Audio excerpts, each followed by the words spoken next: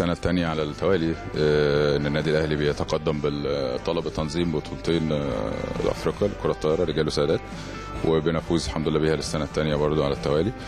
آه، الحمد لله السنة اللي فاتت البطولة خرجت بشكل مشرف وبشكل آه الحمد لله بشكل يليق فعلا باسم النادي الأهلي وباسم الاتحاد الأفريقي والفرق المشاركة اتعمل فيها مجهود كبير من آه، زملائنا طبعا محمد الجرحي ومحمد الضماطي عملوا فيها مجهود محترم جدا.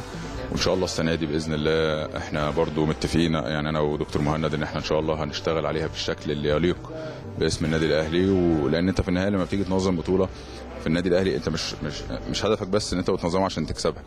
يعني أنت كنادي أهلي إحنا الحمد لله ندخل في أي بطولة سواء جوه مصر أو بره مصر لازم هدفك رقم واحد ولازم هدفك البطولة.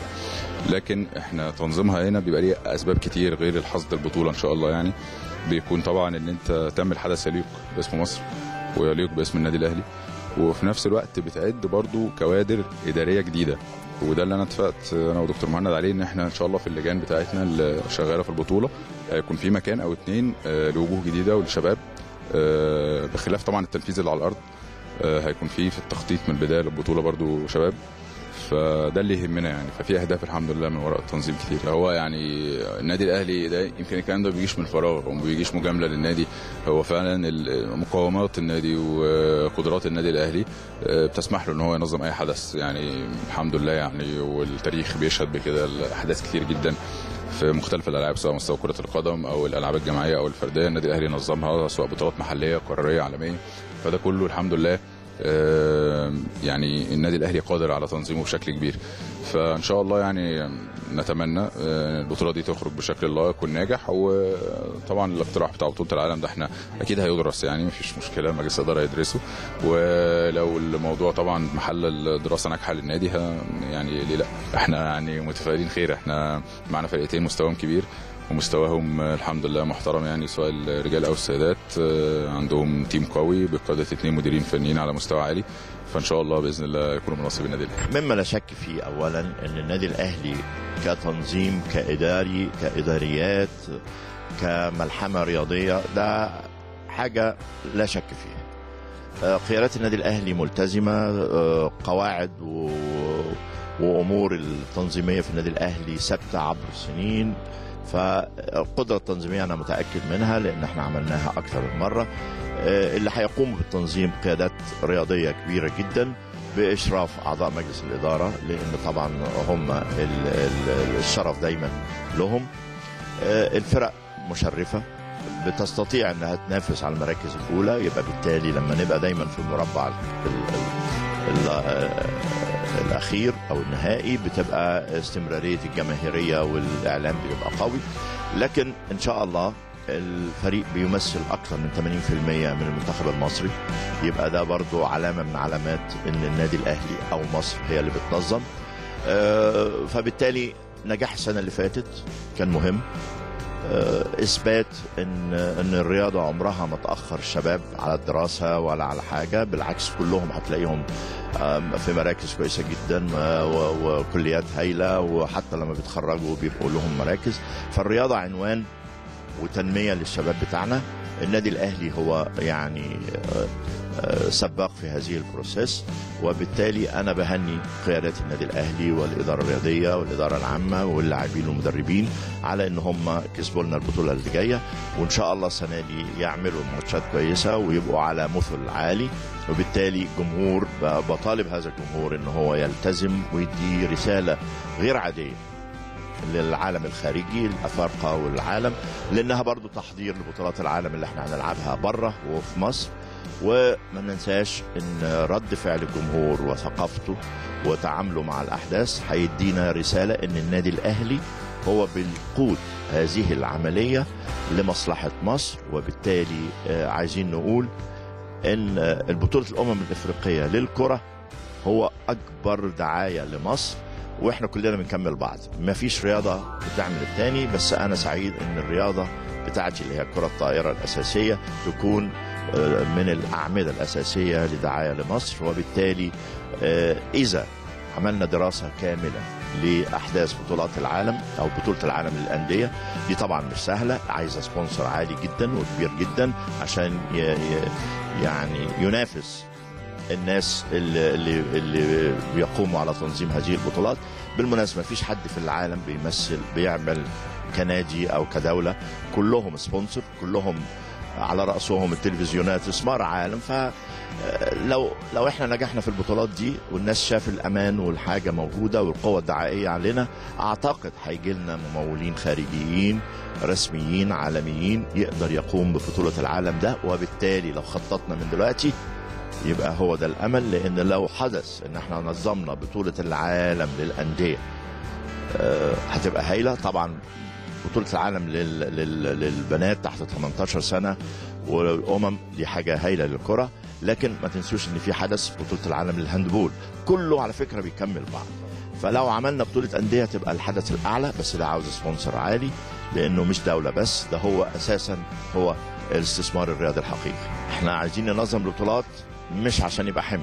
نمرة واحد نؤدي الرسالة بتاعت النادي الأهلي أو الرسالة الرياضية اللي مطلوبة لشعب مصر وشباب مصر والشباب الإفريقي لأن إحنا دلوقتي مصر كل الأنظار على مصر لأن مصر هي التي ترأس الاتحاد الإفريقي ناو العام وبرئاسة السيد الرئيس السيسي فأعتقد دي رسالة وواجب لكن ما ما ما, نجبرش النادي الأهلي إن ي- يؤدي واجب. ونحمله فلوس.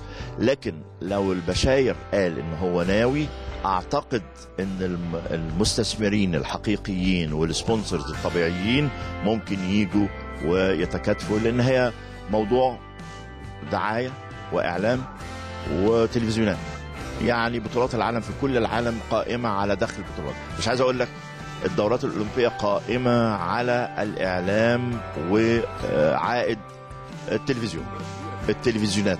فهو ده إزاي يعني آه، نلفت نظر إن في بطولة قد تكون في مصر ومؤثرة جدا وممكن في القريب العاجل هنعمل بطولة البيتش لأن ال- الكرة الشاطئية من أكبر البطولات اللي في العالم حتى في الأولمبياد بتجتذب الجمهور والتلفزيونات.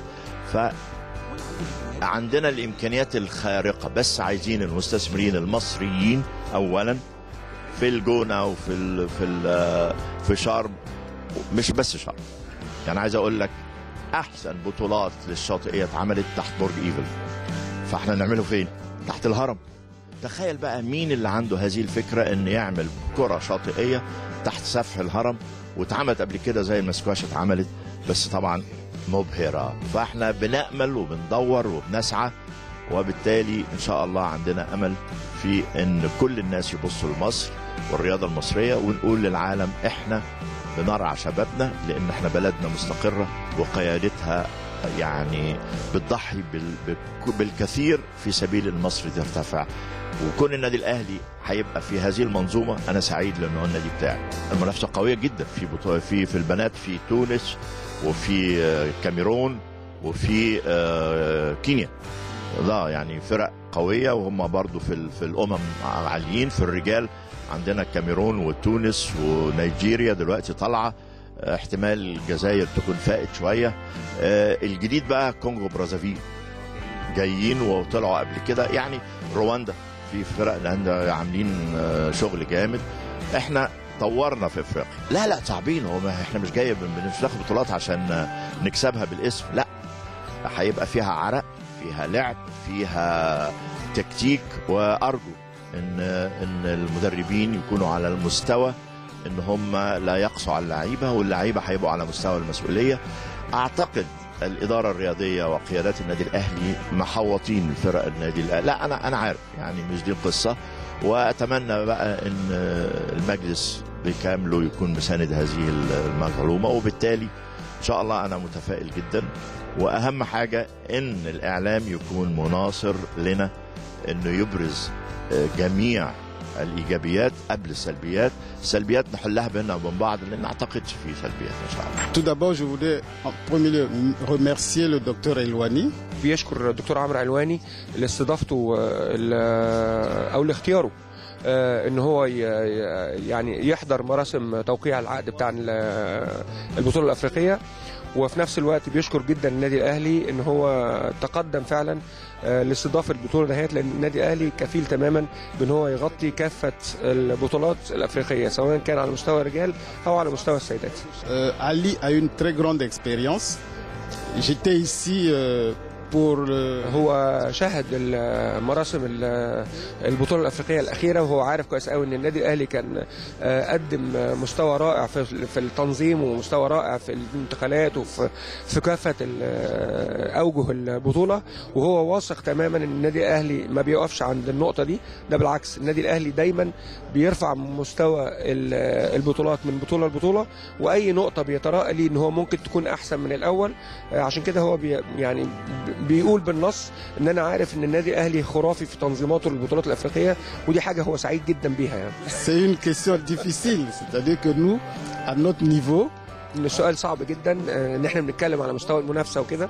آه، طبيعي جدا إن النادي الأهلي هيبقى نفسه إن هو ياخد البطولة. إحنا واثقين إن النادي الأهلي هينجح تماما في في تنظيم البطولة وفي نجاح البطولة. آه، كل ما في أمر بقى اللي هيتعب أكتر في الملعب هو اللي هيستحق إن هو يكسب البطولة. لكن هو بالنسبة له سعيد جدا إن النادي الأهلي يستضيف بطولة بحجم بطولة أفريقية سواء كان للرجال سواء كان للسيدات بيشكر تماما النادي الأهلي وعلى رأسه طبعا كابتن محمود الخطيب اللي هو رئيس مجلس إدارة النادي الأهلي. آه، وهو سعيد جدا وعارف كويس قوي إن النادي الأهلي كفيل تماما بالقصة دي. ويعني مش هيقدر يقول أكتر من إنه إن شاء الله هيشوف آه، بطولة قوية جدا آه، تحت رعاية النادي الأهلي. السنة اللي فاتت لما نظمنا النادي الأهلي نظم البطوله دي إحنا كنا واثقين إن النجاح الهائل اللي تم وانت حضرتك شفته.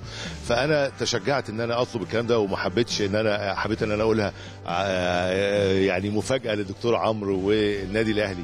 لازم النادي الأهلي بقى يشتغل على الفكرة دي لأنه النهارده آه، كل بطولة هي النهارده بنظام ال bidding زي ما الدكتور عمرو قال إنه بتدفع رسوم لأنه ده آه، استثمار استثمار رياضي والمفروض النادي الأهلي يكون بي- بيحسبها مظبوط وعنده الآليات اللي يقدر يكسب منها من بطولة زي دي.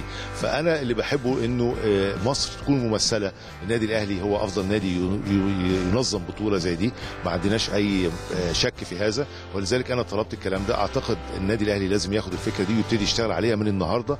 وزي ما الدكتور عمرو قال برضو إن في بطولة العالم هيحصل عليها بدء للأندية اللي هي بطولة العالم للأندية. فدي أعتقد لازم برضو النادي الأهلي يشتغل عليها. ونبتدي نشتغل بقى زي ما إحنا بنتكلم على قانون الرياضة جديد استثمار رياضي وتفعيل للأليات دي كلها. أعتقد إنه آه، يعني مثلا على سبيل المثال آه، الصالة بتاعت النادي الأهلي آه، لن تصلح مثلا كعدد متفرجين. على سبيل المثال أنا بقول لك كده إيه يعني على السريع. لا تصلح لعدد المتفرجين لبطولة عالم. فلازم تشوف والله إحنا النهارده الدولة بتبني بعض الصالات. أعتقد هتكون جاهزة في آه، 2021 أو حاجة كده. آه، ممكن نبتدي نستغل الكلام ده. مش لازم ال- الصالة تكون تابعة للنادي الأهلي. أنا ما أعرفش هل النادي الأهلي عنده مشروع- مشروعات لبنى صالة أكبر من كده. أنا الحقيقة مش متابع. ولكن ده هيكون لأن دي كلها إيه ال- بنسميها الأسيتس أو الاستثمارات الدولة. فلازم الدولة كلها تشتغل مع النادي الأهلي. لأنه لما بقول النادي الاهلي ما بقولش نادي أهلي بس ولكن بقول مصر بتعمل إيه؟ بتنظم في آه، بطولة عالم للأندية. هو عادة شمال أفريقيا بيبقوا هم المنافسين آه، للنادي الأهلي في البطولات دي. آه، أعتقد الولاد الرجال هيكون في برضو بعض الدول الأفريقية هتكون منافسة زي الكاميرون مثلا. إنما أنا مطمن إن شاء الله إنه النادي الأهلي هيتوج إن شاء الله هو الفائز في البطولتين. لتنظيم البطولتين دي قبلت بفرحة كبيرة جدا من الفرق الأفريقية للهوسبيتاليتي وحسن الضيافة والتنظيم الجيد والإمكانيات الجيدة اللي قدمها النادي الأهلي في تنظيم النسخة اللي فاتت وإن شاء الله المرة دي يكون أحسن وأحسن ونجتذب أكبر عدد من الفرق الأفريقية للمشاركه في هذه البطولة ويكون التوفيق حليفنا في هذا التنظيم وينجح بشكل لائق يليق بسمعة النادي الأهلي اولا والنادي والاتحاد المصري ومصر دولة مصر ريادتها الأفريقية. الباشمهندس خالد لما قال ان هو هيطلب تنظيم لاكثر من سنة ده فكر كويس في الاستثمار لأن في الحالة دي بيبقى قدام النادي الأهلي فرصة كبيرة إن هو يخطط ويدور على سبونسر ورعاه يتابعوا معاه التنظيم ويشاركوا معاه في التنظيم وده هيضمن نجاح البطولة بشكل كبير. طبعا ده مش جاي من فراغ. جاي للثقة في قيادات مجلس إدارة النادي الأهلي بقيادة كابتن الخطيب وبقية أعضاء مجلس الإدارة. جاي في الثقة في الجهاز الفني والإداري اللي موجود للعبة الكرة الطايرة في النادي الأهلي. ان هم على قدر المنافسة وفريق عالمي وفريق بينافس بشكل جيد. وتاريخه من أكثر الفرق الحاصلة على الألقاب الأفريقية في في البطولة على مدى السنين المختلفة. فدي كلها مقومات تنجح جدا ال- العرض ده. قمة التنظيم بطولة العالم. يمكن أنا سعيد في مجلس إدارة الاتحاد الدولي أثناء الاجتماعات إن ربنا كرمنا وجبنا بطولة تنظيم تحت 18 سنة للبنات هنا. وده كان نتيجة الإيكو أو الصدى الجيد اللي عمله تنظيم بطولة تحت 23 سنة السنة اللي فاتت. فلما قدمنا لملف البنات كانت قبلنا بالترحيب وكانت المنافسة الحمد لله يعني صعبة بس إحنا قدرنا إن إحنا ننهيها لصالح مصر بفضل ومتدخلات الدكتور عمرو علواني رئيس الاتحاد الأفريقي ونائب رئيس الاتحاد الدولي اللي كان ليه دور كبير في مساندة ملف الدولتين الأفريقيتين اللي كانوا مشاركين في البطولة. تونس تحت 19 سنة ومصر تحت 18 سنة والحمد لله آه، قدرنا إن إحنا ناخدهم. وكمان ساعدنا الدولة الشقيقة البحرين إن هي تفوز ببطولة 21 سنة. وده كان ليه صدى كبير جدا لأول مرة بطولتين أفريق... بطولتين عالم في أفريقيا وده حاجة كبيرة.